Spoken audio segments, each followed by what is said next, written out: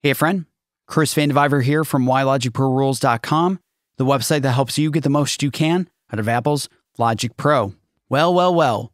Only a few months after the bombshell update of 10.5, the Apple team is already treating us to another major update of 10.6, which was released today. Obviously, this coincides with the release of the new Mac OS, Big Sur, and also the announcement of the new Mac systems that are running on Apple's own processor, which is Apple Silicon. Before we go any further in this walkthrough of 10.6, I highly recommend that you back up your existing Logic system just in case you need to backtrack, just in case if 10.6 isn't playing well with your particular Mac system. Apple recommends it, and it's so easy.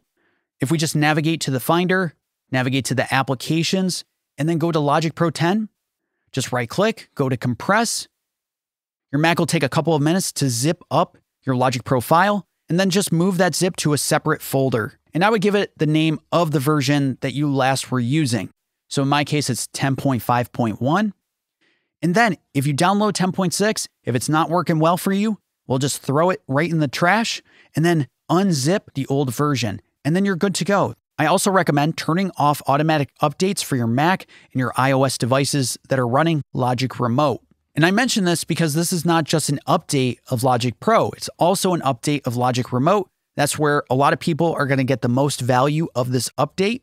But in case your particular Mac, your iOS devices are not able to upgrade to the OS required for these updates, well, then you're not going to run into any problems of Logic Remote or Logic Pro updating on you because 10.6 requires Catalina or later, and the latest version of Logic Remote requires iOS 14 or later. Now let's head up to Help and go right down to what's new in Logic Pro. Now, most of these features we're pretty well aware of. I mean, live loops, the samplers, step sequencer, these were introduced with 10.5. Obviously, the biggest update is that Logic Pro is now optimized for Apple Silicon. And I, for one, am pretty pumped about this. I'm very interested. I'm even looking at the newest Mac Mini right now. The last couple of major updates have been just a wealth of new features, new awesome instruments and plugins. It's been just a bonanza for us Logic users. So it seems with 10.6 that now the Apple team is honing in on more foundational details of the different apps. But for the rest of us who are maybe not ready to upgrade to an Apple Silicon Mac, there are some pretty cool updates for the rest of us. You just have to go digging for them. The biggest one is going to be that Logic Remote now supports the step sequencer. And this is going to be huge for many of us who use the step sequencer for programming different drum beats or melodic instruments. Because now Logic Remote has to be the most complete controller, instrument, live loops launcher, step sequencer that you could possibly get. And one detail before we dig into step sequencer on Logic Remote, I do want to bring your attention we go to Logic Pro, go down to Control Surfaces and Setup. And if we install a new controller, we can see right here that all of the Novation launchpads are now fully supported in 10.6. And what's even better is you don't have to rotate the controller anymore to take advantage of the launchpad with live loops. Everything works as you would expect it to. Again, you don't have to rotate them anymore. Cool. So let's navigate to my iPad here where I have the step sequencer loaded up. And it looks exactly the same as the step sequencer in Logic. Pretty awesome. We can see all the different rows of the instruments. And if I slide my finger along the different headers on the left hand side, we can just slide right along, look at all the different elements of this drum kit. We can also collapse the row headers or expand them to introduce a mute and solo for each row. And everything that you would expect in the step sequencer from a drum machine is right here on the iOS device. Thanks to multi-touch, you can just slide your finger right across the notes, and boom, we've just introduced a clap on every single 16th note in this grid. We can even audition our beats without any of the other instrumentation in the project. So let's take a listen to just this beat, and I'll even plug in some notes as well.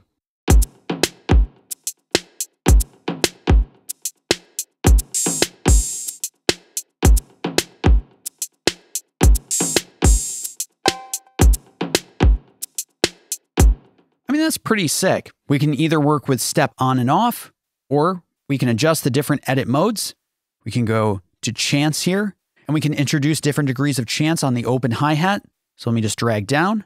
Also, if you click and hold on a particular edit mode note, just click and hold, And now the resolution expands so you can get really fine tuned about what you're affecting. But we can also expand or contract the different automation modes or the different edit modes just by clicking on the disclosure triangle in the row header. By default, you get velocity, you get gate, you get tie, but you can introduce another row just by clicking the plus. So now we've introduced note. And if you click on the title of the edit mode lane, you can switch between the different edit modes. So we can pick skip, or we can get rid of an edit mode lane just by clicking the X. Additionally, if we click on the header of a row, we are introduced to row settings so we can adjust either the row assignment or the step rate. We can set some of these hi hats to a 30 second note instead of 16th note or 8th note. So let's audition this right now.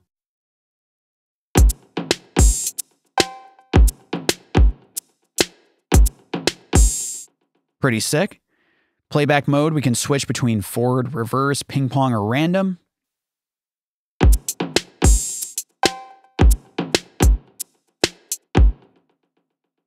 And we can also affect the entire beat globally as you could in the step sequencer on the Mac as well. Click on the inspector icon in the bottom left hand corner, and we can adjust the pattern length. So we can reduce this down to 16th notes if we want, or bump it up to 30 second notes. So now we can see two pages of this beat. Adjust the playback mode for the entire beat, adjust the swing, pattern key, or scale quantize. And you can add different drum elements as well just by going to the bottom, clicking on the plus symbol here, and introducing kit pieces or automation. Now, I've already introduced all of these kit pieces. We can take a look at automation and look at that MIDI control, different aspects of the smart controls, enveloper. I mean, this is awesome. This is the most complete idea of a controller for Logic that you can't get anywhere else. I mean, truly, you cannot get anywhere else. If we take a look right here, we get smart controls and drum pads, drum pads, live loops, step sequencer, mixer, key commands. If I switch to a different instrument, we get chord strips, the smart controls with the keyboard. I mean, it is amazing. But what if you don't use Step Sequencer in your day to day? Is there anything else for other Logic users to upgrade to 10.6? Again, it's all about digging into the weeds of 10.6. So, for example, I'm going to select this track, open the library, and we have a brand new keyboard selection of sounds for you to use and pick different patches from. Many of these sounds existed already within Sampler, within the Retro Synth, but there are some new patches as well, and just further rounds out the library for Logic users. This gives us more and more inspirational sounds to play with for our own productions. In fact, I created a riff just based on some of these new additions using Step Sequencer on the iPad, some of the keyboard sounds. Let's just take a quick listen.